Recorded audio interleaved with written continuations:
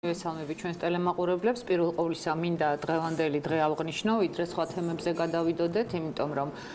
თქვენთვის, ჩემთვის, ნებისმიერი ადამიანისათვის საქართველოში ეს დღე არის ძალიან მძიმე, ძალიან მტკივნეული. ამ დღეს მოყვა ძალიან დიდი ადამიანური ტრაგედიები და ამას მოყვა ძალიან დიდი პოლიტიკური ტრაგედია და პრობლემა ქვეყნისათვის.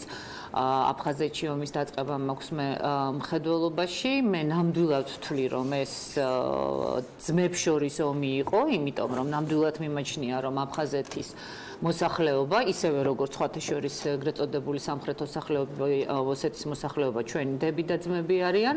ეს განსაკუთრებით თკივნეული შეიძლება იმიტომაც არის, რომ ნამდვილად ეს მოხდა იმ ერებს შორის, რომლებიც საუკუნეების განმავლობაში მშვიდობიანად და ერთად ცხოვრობდნენ. ერთი რამ მინდა თქვა და აღნიშნო, მე დღეს ამასთან დაკავშირებით განცხადებაც გავაკეთე, რომ რა თქმა უნდა ასეთ ტკივილს ვადა არ აქვს, მით უმეტეს დაღუპულების ოჯახებისათვის, მაგრამ განსაკუთრებით მტკივნეულია და მე ვიცი მათი განწყობაც,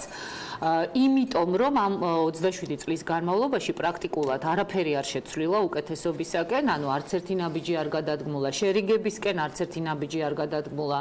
იმისაკენ, რომ კლავერთად ვიყოთ, კლამშვიდობიანად ვიცხოვროთ და ერთიან სახელმწიფოში ვიყოთ, ეს არის ყველაზე მეტად მტკივნეული ჩემთვის, არა მარტო როგორც ადამიანისათვის, არამედ როგორც პოლიტიკოსისათვის, მაგრამ ამის და მიუხედავად მინდა მივმართო ჩვენს დევნილებს, მე ვიცი რომ ძალიან არის ესე ვთქვათ განწყობა გავრცელებული, ესე ვთქვათ გარკვეული იმედი რა თქმა უნდა ყოველას აქვს, მაგრამ უფრო რაღაცა უიმედობისკენ, ნიჰილიზმისკენ წასული და მინდა ამ ადამიანებს უთხრა რომ არავითარ შემთხვევაში იმედი არ დაკარგოთ, იმიტომ რომ ჩვენ მაშინ დავკარგავთ საბოლოოდ აფხაზეთს და სამაჩაბლოს, როდესაც თქვენ დაკარგავთ იმედს იქ დაბრუნების. სანამ თქვენ გჯერათ იმის რომ ჩვენ იქ დაუბრუნდებით, ჩვენ ვალდებული ვართ რომ ყველაფერი გა ხოლმე რაღაც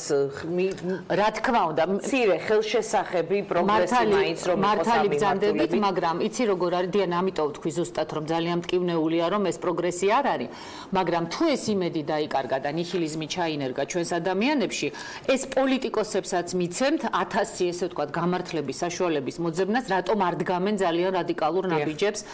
რადიკალურ ხაუმსარ გულისხმობ ცხადია სწორ ნაბიჯებს ამ მიმართულებით. ამიტომ თქვენი იმედი არის უპირველეს ყოვლისა გარანტია დაბრუნების თქვენი იმედი არის ჩვენი პასუხისმგებლობის პოლიტიკოსების პასუხისმგებლობის ათასგზის გაძლიერება და გადიდება თქვენს წინაშე და მე გპირდებით რომ ყველაფერს გავაკეთებ იმისათვის აი შეუძლებელს ვეცდები რომ შევძლო იმისათვის რომ ჩვენ დაუბრუნდეთ და მშვიდობიანად ვიცხოვროთ როგორც სოხუმში ასევე ცხინვალში და ამ ასე ვთქვათ დასახლებული პუნქტების ქალაქების შემოგარენში. ყველგან სადაც საქართველოს ტერიტორია